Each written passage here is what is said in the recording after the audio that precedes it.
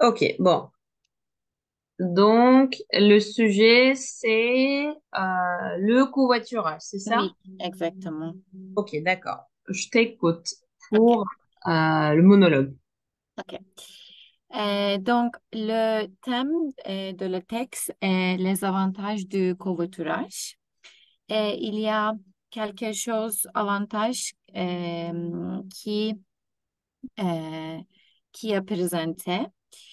Et il, il n'a- il, il- il n'est pas d'inconvénient, mais euh, je voudrais présenter les deux, les avantages et les in- inconvénients. Donc, les in- inconvénients sont mon avis. Euh, mais oui, les avantages euh, est, est de, est de, euh, dans le texte. Euh, tout d'abord, premier avantage de, du covoiturage est euh, réduction des émissions de gaz à effet de serre et euh, gaz polluants. Parce que avec le co- covoiturage, plusieurs personnes partageaient la même et, et- et plutôt que d'utiliser une voiture, euh, chaque personne. Donc, vous pouvez euh, réduire euh, émissions- votre émission. Pour la même raison, vous pouvez aussi euh, réduire de la consommation de carburant. Et, et cette euh, euh, est deuxième euh, avantage euh, du covoiturage. Euh, parce que si vous utilisez le covoiturage, vous pouvez partager, euh, euh, le prix de, euh, de carburant et euh, vous pouvez payer moins euh, que, euh, que votre, euh, que votre euh, paiement euh, si euh, vous utilisez euh, euh, non- euh, votre euh, voiture euh, toute seule. Et euh, de plus, euh, troisième euh, avantage est, est- est économie de euh, l'achat du véhicule. Parce que quand vous faites, quand vous faites euh, covoiturage, vous alternez l'utilisation des voitures. Donc, et il, il- il y a plusieurs années avant votre voiture devenait, de- devint euh, vieux. Et enfin, à mon avis, grâce à covoiturage, vous pouvez devenir plus proche avec votre collègue, votre ami ou votre voisin qui, qui vous partagez euh, le voiture. C'est parce que quand vous, vous, vous avez, vous allez euh, au travail ou, euh, oui, ou euh, un autre euh, espace, euh, vous pouvez discuter euh, un sujet ou euh, un sujet euh, personnel ou un sujet populaire. Donc, vous pouvez devenir plus proche. Euh, mais je pense il y a euh, euh, inconvénients aussi. Euh, parce que avec le covoiturage, vous, euh, euh, vous n'avez pas euh, indépendante. Donc, euh, vous devrez coordonner avec les personnes euh, qui, que vous, vous partagez le véhicule, le, le, le voiture. Et, et plus, euh, vous, euh, l'itinéraire pour, euh, pour ton, euh, pour ton voyage, pour votre voyage, peut-être est plus long parce que vous, doit, devrez aller chaque la maison de chaque personne et vous doit vous devrez arrêter, vous devrez attendre la personne. Donc, l'itinéraire peut être plus long. Et enfin, il peut y avoir, y avoir, y avoir, avoir euh, quelqu'un désagréable euh, peut-être que vous n'aimez pas, pas euh, mais qui habite proche chez vous. Donc, vous devez euh, partager la, le voiture. Et, et donc, pour conclure, je pense que le covoiturage est une bonne solution pour, pour réduire notre impact environnemental. et plus, il y a un autre avantage économique aussi. Mais c'est dépendant. personne, personne doit peut-être sacrifier sa indépendance mais à mon avis, ce n'est pas un grand problème. Merci. Et moi, j'ai une question. Oui. Si, par exemple, tu m'as, tu m'as parlé des, des personnes désagréables que tu Mhm. dois, euh, entre guillemets, supporter pendant que vous étiez dans, dans la voiture ensemble. Mhm. Quelle serait ta solution pour éviter d'avoir de telles personnes et d'être dans, le même, euh, dans la même voiture avec euh, ces personnes? Oui.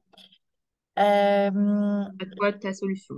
oui, c'est- euh, ça, ça dépend parce que ça dépend l'autre personne aussi. Euh, parce que si, si euh, vous êtes le, le personne, si, si vous êtes seulement personne qui, euh, qui n'aime pas cette personne désagréable, donc c'est une, c'est une, euh, c'est un sujet euh, plus personnel. Peut-être euh, vous pouvez euh, vous pouvez parler euh, avec cette personne euh, votre problème euh, et vous pouvez euh, vous pouvez essayer de trouver une solution. Mais euh, l'autre personne aussi, euh, mais si l'autre personne euh, ne, ne aime, euh, pas aussi, peut-être vous pouvez juste choisir une autre personne pour, pour partager le véhicule. C'est un peu, c'est c'est pas bien, c'est pas, euh, c'est pas sympa de faire, mais, euh, mais c'est c'est une solution euh, démocratique peut-être. Oui, ok, d'accord. Et je vais te poser une question personnelle. Est-ce que toi, tu as déjà fait du covoiturage? Et euh, si oui, comment tu l'as fait? Euh, est-ce que, j'en sais rien, en- peut-être que tu avais une amie, un ami avec euh, lequel, laquelle tu as, fait une- un covoiturage, ou bien il y a des sites pour le covoiturage comme Blablacar, et peut-être Mhm. que tu as, fait une covoiturage, un covoiturage là-bas. Et est-ce que tu as déjà eu l'expérience?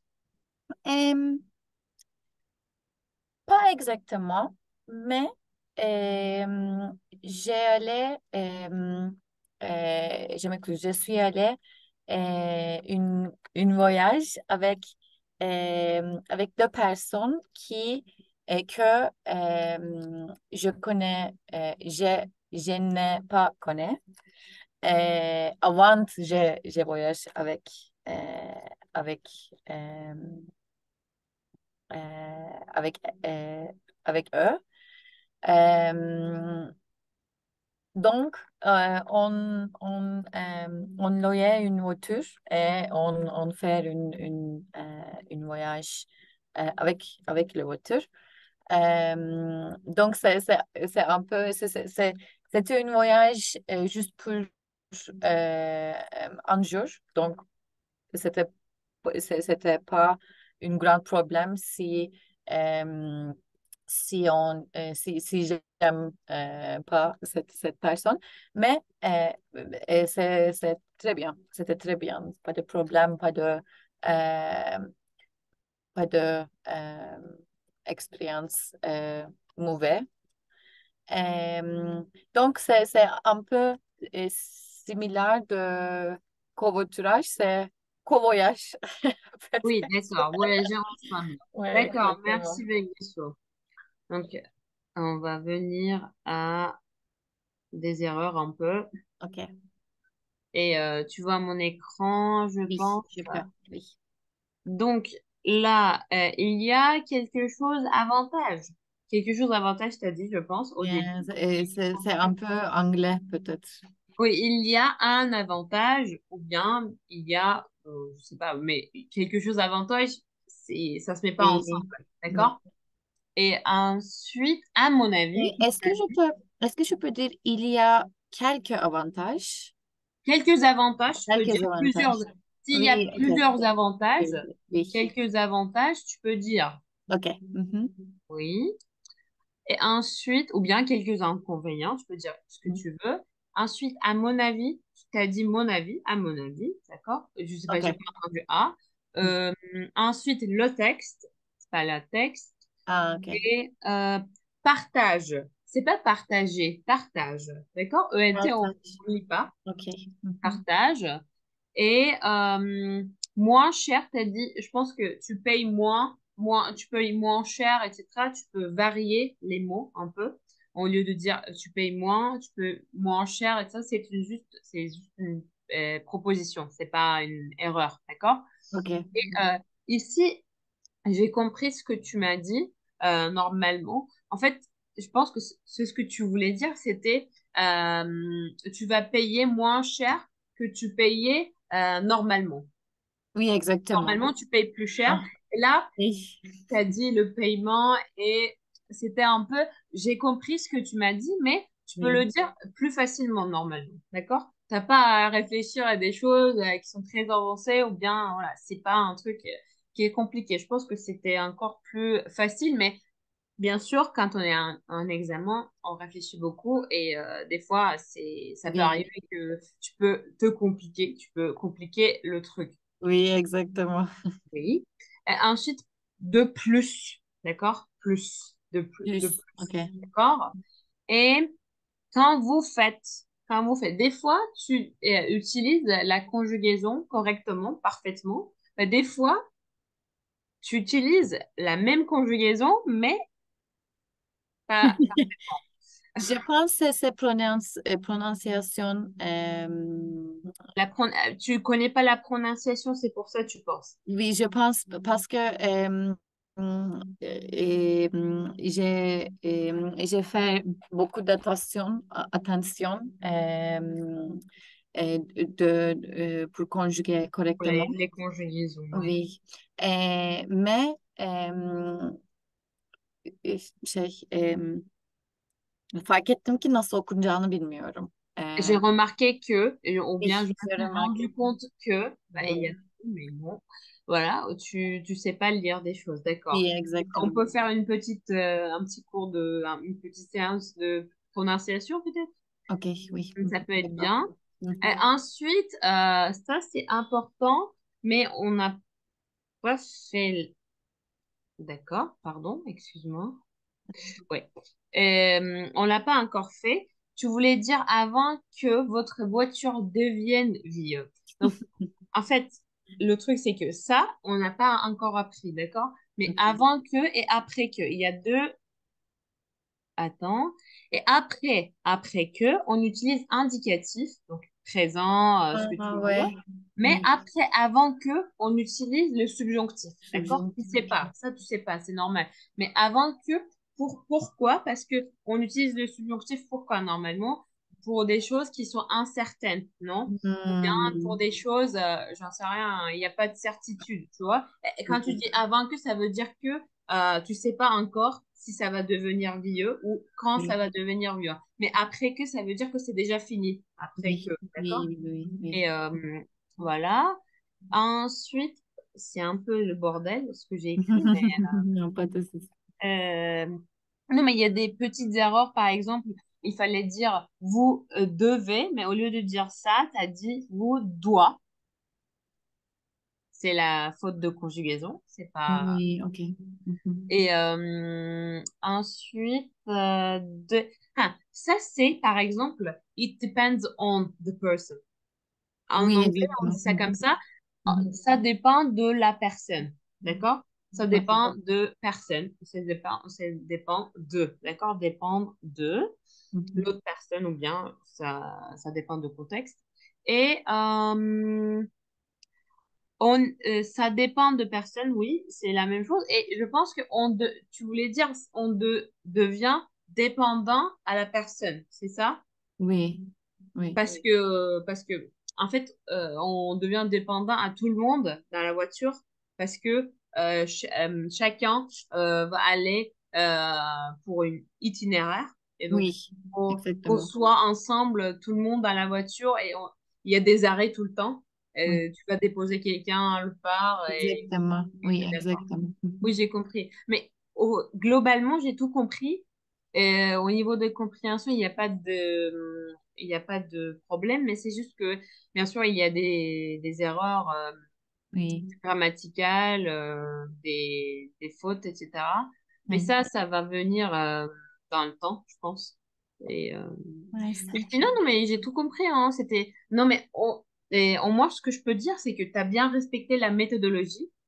Et ça, c'est une, euh, une bonne chose. Et euh, comment dire, dans l'examen, quand c'est comme ça, euh, Mhm. tu peux prendre, même si tu parles pas très très bien, euh, avec la méthodologie que Mhm. tu connais, ou bien, ou bien le plan que tu as proposé, tu as dit les avantages, les inconvénients, tu maîtrises bien le, le plan, etc. Et Oui, quand c'est le cas, et en plus, tu as fini avec ton point de vue personnel à la fin, pour conclure, etc., tout ça, ça compte pour, euh, le, comment dire, quand on note, d'accord? Donc, Mhm. euh, pour l'instant, je peux pas te donner de notes parce qu'il y a trois parties euh, pour la production orale. On a fait qu'un- qu'une seule partie pour l'instant, mais euh, normalement, euh, ça compte aussi. Donc, c'est, très bien de, d'avoir utilisé la méthodologie. Mais là, je pense que de toute façon, la méthodologie, c'est la partie la plus facile. Parce que Oui, là, si tu maîtrises la méthodologie, tu peux faire euh, tout ce que tu veux. Mais euh, dans ce cas-là, il faut se focaliser surtout sur la, la grammaire et euh, le vocabulaire aussi. Mais vocabulaire, même vocabulaire, c'était, ça va quoi, je sais pas, c'était bien. Je pense est-ce que tu as utilisé le, le dictionnaire pour te préparer? Oui, pour, pour, Oui. quelques verbes, par exemple, prévoir, devenir, sacrifier. Et, hum, hum. et euh, les avantages, euh, j'ai euh, je euh, le texte, euh, oui, j'utilise euh, j'utilise les phrases, dans le texte. Donc, j'ai une question. Parce que j'ai cette préparation et j'ai écrit beaucoup. Bien sûr, j'ai j'ai euh, euh, et- et- et, je prends euh, plus, plus, plus de 10 minutes. 10 minutes. Euh, donc, oui, je, je prépare beaucoup. Mais, mais aussi, j'ai lire un peu. Oui, tu as lu un peu. exactement. C'est OK ou c'est pas OK? Non, il faut, oui, bien sûr, éviter de lire la lecture, c'est Oui. important. Mais comme j'étais une seule personne, quand je notais, j'ai pas pu te regarder beaucoup, Euh, parce que tu, peut-être que tu lisais des fois, mais tu sais, euh, je t'ai pas beaucoup regardé. Je me suis focalisée sur ce que tu as dit et j'ai essayé de noter des erreurs que j'ai entendues. Donc, euh, oui, mais bien sûr, il faut. Non, mais en fait, le truc, c'est que euh, je pense que tu as noté beaucoup de choses sur ton papier. Mhm. Et euh, je pense qu'il faut noter déjà euh, moins de choses possibles parce que sinon, tu as la tendance de lire ce que tu as Oui, écrit. exactement. Et donc, Mhm. je te, je te conseille, et on peut faire une petite, euh, une petite, euh, je sais pas, un petit cours juste euh, pour expliquer comment prendre des notes pendant l'examen pour euh, Oui, la production orale. Parce qu'il oui, faut toujours utiliser des mots-clés, etc. Mais il faut pas écrire une phrase euh, complète, tu vois. oui. Et il faut, Mhm. par exemple, j'en sais rien, moi, tu vas dire un truc sur le covoiturage. Tu vas écrire le covoiturage, c'est ton mot-clé. Euh, et par exemple, les effets de serre, et ce sont des mots-clés. Et c'est à toi de euh, créer une phrase avec ces deux mots-clés, d'accord? Mhm. Parce que les Mhm. deux, euh, si tu vois les mots-clés, je pense que tu vas dire, ah oui, d'accord, il faut que je dise un truc par rapport à ça. Ou bien, note juste le verbe, euh, Mhm. le sujet que tu veux utiliser, mais fais pas de phrase. C'est à toi de conjuguer le verbe pendant l'examen, tu vois? Oui. Euh, Mhm. Sinon, si tu, si tu, euh, si tu écris tout, euh, il faut que tu lises et tu es très dépendante à, Exactement. Oui. oui, ton papier, tu vois. Oui, exactement. Exactement. euh, il faut pas tout, euh, tout écrire, oui. Oui, exactement. Euh, c'est euh, c'est que euh, c'est que qui se passe. Voilà. Oui, c'est ce qui se passe, oui. Oui, C'est ce qui se passe en ce moment, oui, oui. parce que, parce que j'ai euh, j'ai beaucoup de écrit beaucoup de flamand, donc, donc j'ai juste lu. Oui, Oui, non, mais je comprends. Non, mais je comprends. Mais c'était la première fois, de toute façon. On a pu dire officiellement la première fois, parce qu'on avait fait déjà plusieurs fois, mais c'était pas avec la méthodologie et c'était comme si c'était une conversation entre nous. Mais oui. c'est déjà, c'est important de hum, pouvoir parler pendant euh, plusieurs minutes Mhm, euh, de façon monologue pour mhm, euh, voir si tu es capable de parler déjà tout seul. mhm. Et ensuite, la méthodologie et tes erreurs. Déjà, là, là, tu peux parler comme ça, tout seul, tu vois, t'as t'as pas besoin de, de- d'avoir une autre personne à côté de toi. T'es- Là, tu es tout indépendante. Là, il faut se focaliser sur les erreurs et les fautes euh, de grammaire.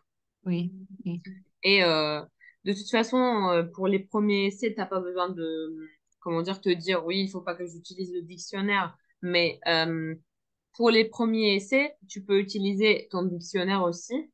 Mhm. Mais euh, bien sûr, euh, pour les, pour les prochains, ess- prochains oui, essais, oui, c'est oui, pas vraiment préférable. Oui, exactement, exactement. Et, euh, et- et- et- je voulais euh, demander, je voulais euh, poser une question aussi. Euh, comment je peux prac- pratiquer Pratiquer. euh, euh, vocabulaire? Est-ce que est-ce qu'il y a une une app ou Oui, en fait, moi, j'ai co- j'ai j'ai pensé à faire ça parce que j'ai vu un- une prof qui faisait ça aussi et ça m'a donné une idée. Moi, je pense que sais ce que je vais faire pour euh, mes apprenants, on va dire. Je vais créer des Quizlets et avec la définition, mais en français. Mhm. Moi, je vais créer, je vais par exemple, j'en sais rien, le thème sera euh, écologie, tu vois. Et il y a des mots à utiliser parce qu'en fait, pour chaque examen, il y a des thèmes euh, abordés pendant l'examen. Et donc, par exemple, le thème écologie. Donc, je vais écrire, par exemple, pour le B1, euh, les mots euh, qui sont au niveau B1 et je vais Mhm. créer en Quizlet pour que tu euh, puisses t'entraîner aussi et, mais pas avec des définitions en anglais, tu vois. Je vais écrire, oui, sais rien, covoiturage, mais avec une définition en français, tu vois. pour que tu relis les deux. Et il y a, je sais pas si ça te plaît, mais je me suis dit ça peut être une bonne idée parce qu'il y a une collègue qui le fait oui, et exactement, c'est bonne idée. efficace. Mais euh, pas juste euh, euh, pas juste dans, dans une, une thème, mais Oui, aussi euh, les verbes euh, fréquents, fré- fréquemment. Fréquent, fréquent, oui. Fréquemment.